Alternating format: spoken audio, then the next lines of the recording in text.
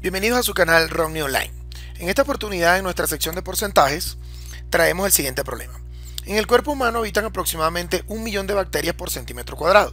Si al tomar un baño se pierde el 20% de estas y si al usar luego un jabón antibacteriano se pierde un 10% adicional, ¿qué porcentaje de bacterias se pierde en total?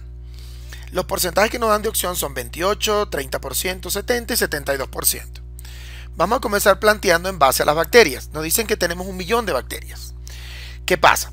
Son dos procesos separados. Lo más importante es interpretar y saber que estos porcentajes no se pueden sumar, dado que primero es el baño, o sea, primero el agua de la ducha, se lleva 20% de las bacterias y reduce este millón.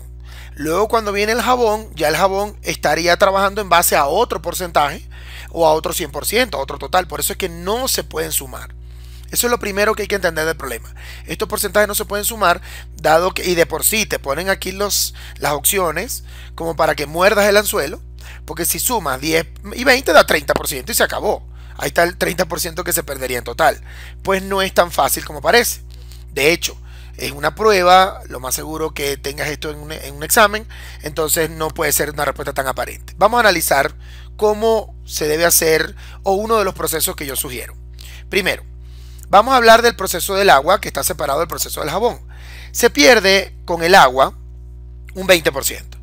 Si tú pierdes un 20%, quiere decir que de esas bacterias está quedando un 80%. O sea, yo lo quiero plantear en esta oportunidad en base a lo que se pierde y en base a lo que se va quedando para llevar los dos procesos en paralelo dependiendo de la pregunta, porque te pueden preguntar también cuánto porcentaje queda, no cuánto porcentaje se pierde. Entonces es bueno tener las dos caras de la moneda.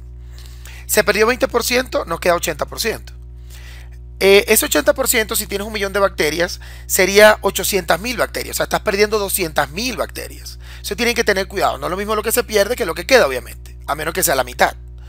Entonces, se perdieron 200 mil, quedan 800 mil. Muy bien. Luego viene el proceso del jabón.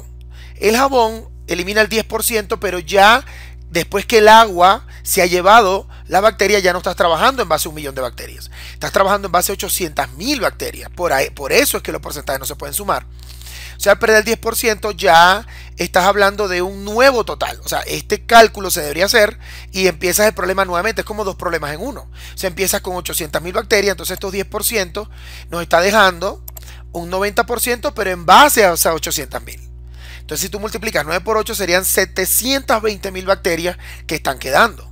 Entonces, 720 mil bacterias del original total del millón sería un 72% de las que están quedando. O sea, que no son las que se pierden, pero vamos a analizarlo un poco más directo.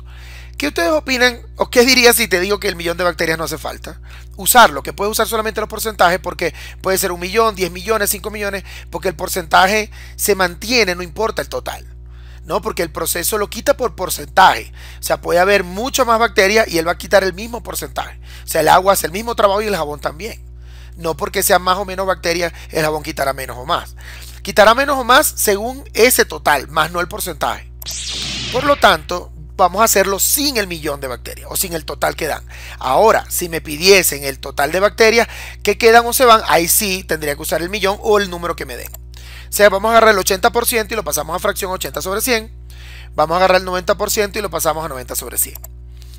Vamos entonces a simplificar. Como aquí tenemos dos ceros, estos ceros se eliminan con estos que están acá y quedará 8 por 9, 72. Y abajo un 100 quedaría así intacto porque se van dos ceros con dos ceros, queda arriba 72 y abajo un solo 100. Este 72 sobre 100, como les dije, el 72%. Claro, en base a un millón se ve también claramente porque es 720 mil, se ve claramente, pero si fueran 3 millones, 5 millones, el número quizás no se relacione rápido. Por eso hay que usar solo los porcentajes. Cuando me pidan porcentajes, lo mejor. Vamos a empezar a concluir, ya el problema está listo, porque quedan es 72%. Por si te preguntan qué porcentaje de bacterias queda, usted marca 72 la respuesta correcta, pero como es lo que se pierde, entonces sería lo contrario o el complemento al 100%. En este caso, entonces, nuestra respuesta definitiva será que lo que se pierde es un 28%, que es nuestra respuesta definitiva. Entonces ya saben, para este tipo de problemas no hace falta usar el total, pueden usar solo los porcentajes. usen los porcentajes contrarios por separado, multiplican, ya tienen lo que quedan, si es lo que piden, y si no, el complemento a 100 es lo que se pierde. No pueden sumar los porcentajes, recuerden. Y aquí están todas las opciones para que caiga cualquiera en la trampa. Bueno, muchísimas gracias por su atención. Cualquier comentario, por favor, en el canal. Suscríbanse si les fue de utilidad y recomienden. Nos vemos entonces en el próximo video.